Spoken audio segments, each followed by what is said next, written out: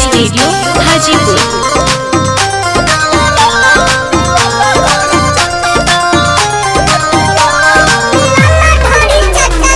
सखी सैया रहे हमर पटना। सखी सैया रहे हमर पटना।